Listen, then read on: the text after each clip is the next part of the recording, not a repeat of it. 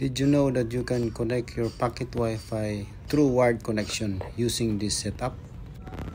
As you can see, we are not connected to the internet.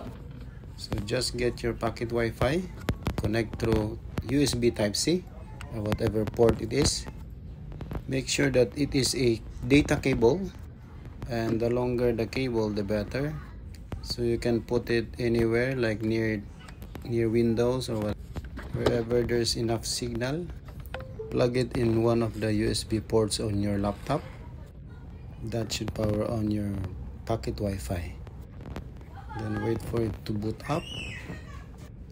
As you can see I've opened a browser and the site can't be reached. Now we'll just wait for a second for the pocket Wi-Fi to connect to the network. So now as you can see it is autoplay. So there should be internet connection.